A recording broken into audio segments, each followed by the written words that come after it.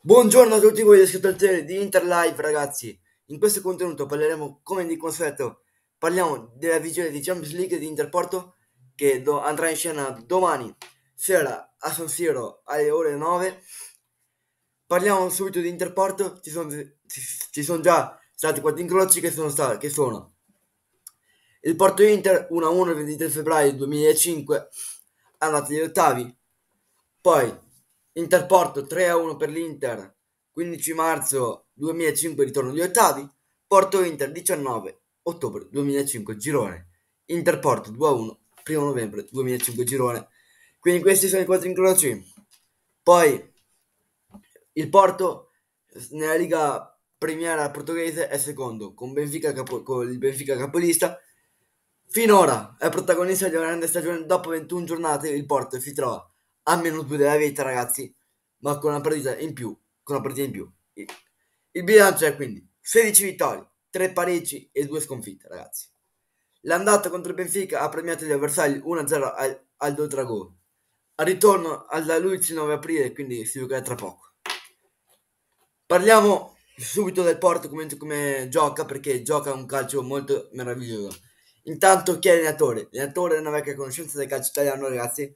Confessavo Sergio e giocava in ala che Serie A giocata dal 1988 al, al 2004 anche all'Inter. Poi confessavo dal 2017 guida il Dragones, dove ha gio- giocato e ha vinto in carriera. Sta facendo ancora meglio in panchina. 9 titoli conquistati fra, titoli, fra tra i quali tre scudetti, ragazzi. Come gioca allora? Confessavo ha due moduli. I due modi di riferimento sono il 4-4-2 o il 4-4-3, che può tornare in base ai interpreti. È una squadra solida, organizzata, che proprio alle grazie coralità funziona in entrambe le fasi, con attenzione particolare alle ripartenze. Poi la formazione anti-Inter del Porto è 4-4-2, Diogo Costa, Gio Mario, Pepe, Marcano, Zedù, Franco Guistaio, Gucci, Peppe, Taremi e Martinez e Antonio Conquistaio. Questa squadra ha tanti ha punti di forza e punti deboli.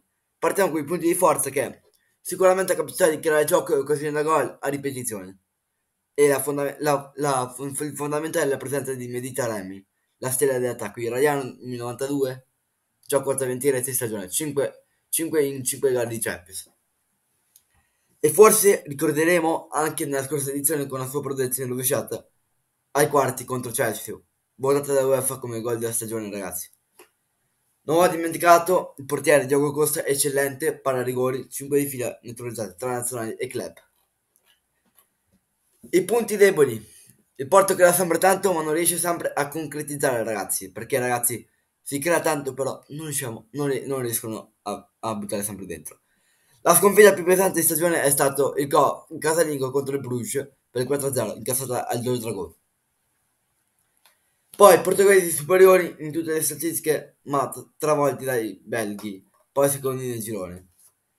Parliamo della tenuta difensiva, se Consesao condivide il campionato il migliore reparto col Benfica, 12, 12 rette concesse, il primo impatto in Champions era stato da incubo, 6 gol presi in 180 minuti. La coppia difensiva era Pepe Carmano, Carmo, ecco perché l'ex Roma Marcano ha scalato di gerarchia. Poi, eh, gli ultimi gli disponibili per Milano sono Francesco Mercedo, Fabio Cardoso, Matteo Silvio, Ottavio, Gabriele Verò e Galeno e, e, e Van Lisson. Quindi questi sono i disponibili per il Porto per Milano. Invece l'Inter si dovrebbe schierare col 3-5-2, Onana in porta, Schierina Cervi Bastoni in difesa, Darnia, Barella, Brozziano Di Marco in centrocampo, Lukaku e Lautaro, Lukaku e Lautaro in, in attacco. Queste sono le prove formazioni per ora. Ragazzi, il mister Inzaghi parlerà alle ore 12.30 su Inter TV. Seguite, tutto, seguite le parole del mister. E vi ricordo, ore 12 dalle 12 alle 12.20, prima della conferenza stampa di Mister Inzaghi, parleremo con Alberto Scotta, eh, ospite di Sport Italia, quasi tutti i giorni.